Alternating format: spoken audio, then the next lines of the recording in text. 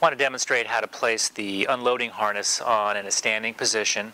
Uh, first of all, I just want to put the, uh, the top piece of the harness on like a vest, and we're going to go ahead and then position the waist belt appropriately. So you want the waist belt at a level that it catches underneath the ribs, um, and also the lower edge of the um, uh, harness is catching just over the top of the iliac crest area.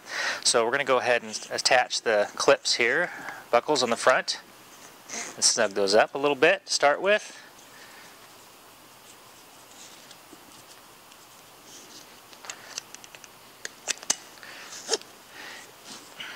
You can see the buckles are on opposite sides here to give a little more um, even pressure.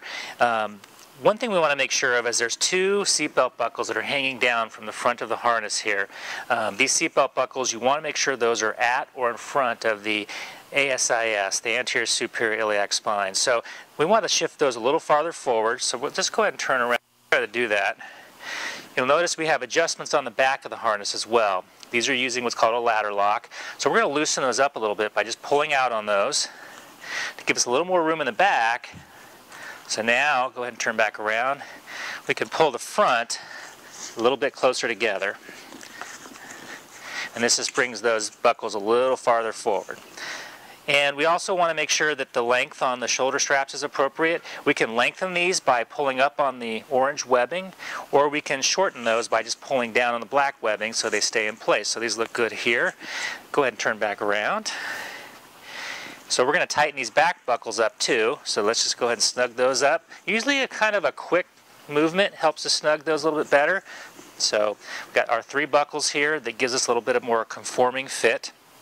So go ahead and turn back around one more time. Good. So that's how we want to fit the top piece of the harness. Now we're going to apply the lower piece of the harness. So the first thing we're going to do with that is go ahead and turn back around for me. And we're going to take the two black buckles here that are hanging from the harness and these there's thigh cuffs that are marked right and left on the inside of the thigh cuff. We're going to attach those to the back buckles we're going to adjust the length of these, shorten those up, so that this red strap, we call the gluteal fold strap, is going to sit just beneath the gluteal fold. We're going to take the thigh cuffs here, the right and left thigh cuffs, and bring them through the thighs. Good. Now you can go ahead and turn back around, or just turn sideways like that. Great. And take the two inch buckle and attach it and snug just take up the slack. We don't want to snug too firmly on those, okay? And now we'll do the same thing with the left thigh cuff. And then we're going to take our red gluteal fold straps and take the red buckles and clip them into the front. Snug firmly.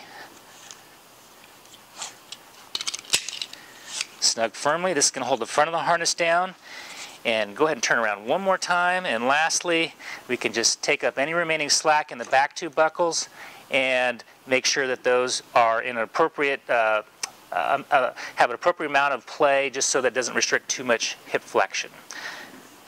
Okay.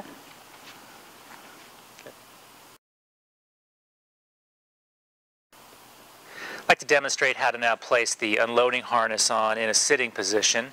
Um, so some of the things are similar, some things are a little different. So first of all, you want to make sure that you lengthen these shoulder straps as far as they can go. That'll allow you to get it around the patient and their arms through the uh, shoulder straps much more easily. The other thing you're going to want to do is somewhat preset the back straps. So over time, you'll trial and error, you get better of estimating approximate circumference of the person's waist.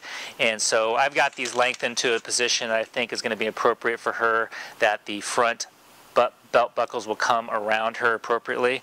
So we're going to go ahead and just place this through your arm here, and we're going to have you lean forward, and we're going to stuff this down and get this around your other arm here. Go ahead and lean forward as far as you can. Good. So if you can get your patient to lean forward as far as they can, that's going to be optimum. And get that harness as low as you can. And if you've got removable armrests that you can take away, then that's be great too to get those out of the way. So now we can go ahead and come back around. And we're going to go ahead and tighten your front belt buckles. You want to get this belt as low as you can possibly get it in a sitting position because it will come up a little bit when they come to standing. So we got this nice and low clipping in our two front buckles here. We want to get these as snug as possible. We can also have you lean forward and I can snug up some of these back buckles too if I can get access to them. If not, we'll do that when she stands up. Go ahead and lean back. I'm going to take a little bit of slack up at the shoulders. I want to leave a little bit of play because as she stands up, those are going to those are going to take up some slack as well. So now for putting on the lower piece of the unloading harness, we've got a right and a left thigh cuff. And we're going to want to hold those in our right and left hands when we get ready to place those underneath the, the, the patient. So, so I've got them here, right and left. You want the right, the R and the L laid out as they should be. So we're going to take the right leg, we're going to lift it up, and we're going to slide that cuff. And we're going to try to get it up as far on the thigh as we can. And go ahead and clip it in. And just snug it up, just take the slack up, not too tight. Then I'm going to pull my red strap here and I might have to turn this cuff a little bit to give me some slack. So now here's my left, and it's going to come underneath the left. Then this cuff's going to come up between the legs. We're going to go ahead and tighten that up. Again, not too tight, and just get it as high as you can. The higher the better initially. Now we're going to take our red seatbelt buckle clips and clip these into the front seatbelt buckles. Want to make sure those front seatbelt the ASIS are slightly in front. Again, not super tight because as they stand up, that'll restrict their hip, hip extension. And then we'll get that somewhat tight there. Good. So then once we're ready, if your patient is now hooked up to an overhead suspension system of any type, um, you can have that hooked up at this point. And then as they go to come up to standing with this, the last thing you're going to do is have to clip in the back buckles. So go ahead and stand up for me. Good. And I'm going to have you turn around, but in reality I'd be right here doing this. I would then lastly clip the back buckles and cinch those up quickly.